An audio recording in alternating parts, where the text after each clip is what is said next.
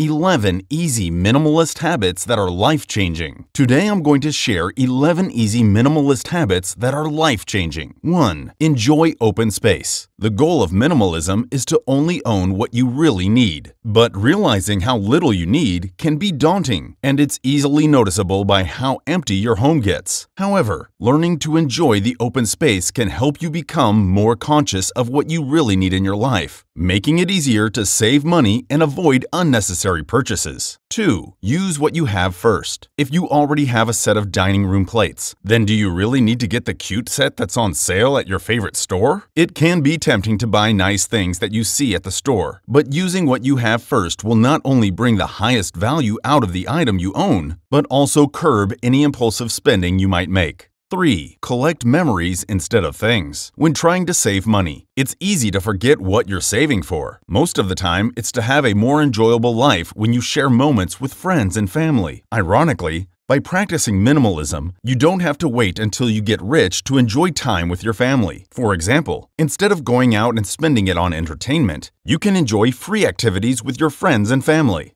4. Repurpose items when you can. All items served at least one purpose, but in most cases, those items can be repurposed for something else. For example, if you're an avid gardener, you can use egg cartons to start your seedlings. You can save a lot of money, the environment, and time by repurposing items when you can. Plus, you end up keeping your home clutter-free. 5. Make mindful purchases. How often do you think before you make a purchase? We're sure there are cases for most of you that you put thought into buying something like a car or a home. But what makes a day-to-day item any less worthy of thought? Putting the same effort and thoughts into all your purchases, you'll find that you'll buy much less. And everything you buy will fit well in your home and will be very high quality. 6. Be confident in being minimalist. It's inevitable that you'll hit some brick walls when practicing minimalism, but unfortunately, those brick walls are usually people who try to discourage your minimalist habits. While the opinions of your friends and family matter, it's important to be confident in your minimalism. Not only will this set your habits in stone,